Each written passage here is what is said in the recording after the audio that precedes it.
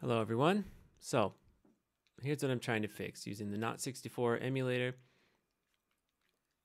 You see that I've got a Wiimote and Nunchuk. Um, I know that there are many other options for, you know, controllers that you can use with the N64 emulator, but you know, I got done playing Mario Galaxy 1 and 2, and I really like using the Wiimote and Nunchuk. But the problem is that the control settings by default are not quite there. They're like 95% correct. You see here A and B are set up for A on the Wiimote and plus, which is on the top of the Wiimote, whereas B is the trigger on the underside of the Wiimote. And I want B to be the trigger on the underside of the Wiimote.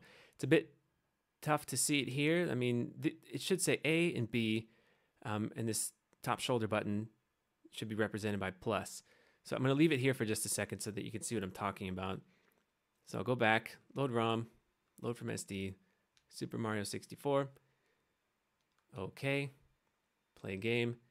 Right, so now that I'm controlling Mario using the nunchuk and Wiimote, um, what happens when I press the trigger on the underside of the Wiimote is I get camera change, and I definitely don't want that. You know, I want it to control similar to Mario Galaxy, which, if I remember correctly, the trigger under the Wiimote is what causes you to punch, stuff like this, right? So I need that setting to stick. Now I'll go back by pressing 1 and 2 on the Wiimote simultaneously. I'll go back into settings, input, configure buttons, change this until it's plus. I just had to hit it once there. This one I'll loop through until I get back to B. Okay. Um, I can save it here, but you'll see that that doesn't matter. Now go back to the game, back, resume game. Okay, so now B is mapped to the underside of the Wiimote, the trigger on the right hand side, the Wiimote, which is way more intuitive, very nice. You know, it seems like, almost seems like it was planned really. Um, of course, the Wiimote wasn't around when this game came out. So, that's great, right? But now I want that setting to stick so that every time I log in here, I don't have to go do that. Well, you'll see now, if I quit, hit OK. Now I reload not64 as if I just, you know, reset the console or came back later. But look at my settings, input, configure buttons. Now these settings are back, right? So that's the problem, right? It won't keep these settings and this is what I'm going to show you how to fix. It's not that big of a deal, right? Of course, but you you know, it's also annoying. It's a little bit off-putting to have to reset this every time. So what needs to happen, I'll just go from the main menu here. We go into settings, input. You see how it says auto load slot here, default?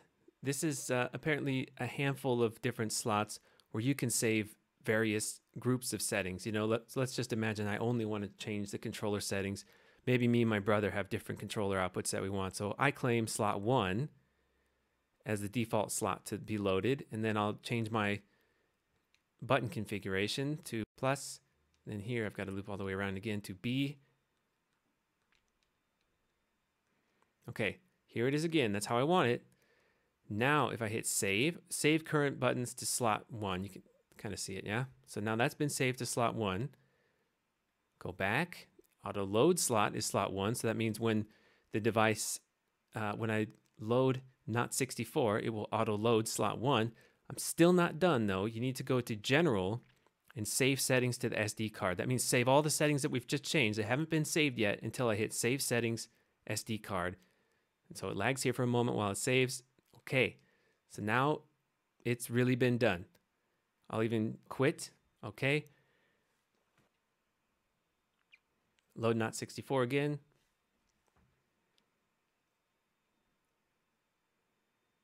There my devices. Go to settings, input, configure buttons, boom. See, now this has stuck.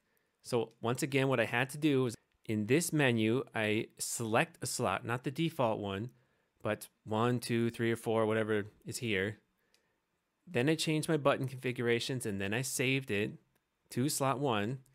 Then I go back out to general, um, hmm, maybe I could have done it here too.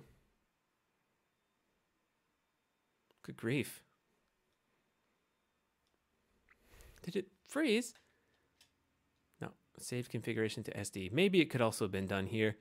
Anyway, I know this works, so I hit save once again in SD. And so now it has actually kept all of these settings. So now that I'm back in the game, I can resume playing with, you know, the trigger on the underside of the Wiimote being a replacement for B, which is very nice, as it should be. So that's it. That's all I wanted to show you because I couldn't find this information anywhere. You know, it's probably in some forums and stuff. And I did look for a couple hours, but I, I couldn't find it. Um, yeah, so, but check this out. I didn't know that you could do this. If you're, I think if you're crouching, crawling like this and you press B, look at this. I did not know that Mario had this move. I, I played this game for the first time last summer, and I only just now figured out that you could do this. So that explains a hell of a lot about his move set in uh, Super Smash Brothers. Hey, like it's the same move. It's the same move as what he has in Super Smash Brothers, which I didn't know it was already in this game. Anyway, that's it. That's all I have for you. Just wanted to show you how to fix that setting. Thanks for watching.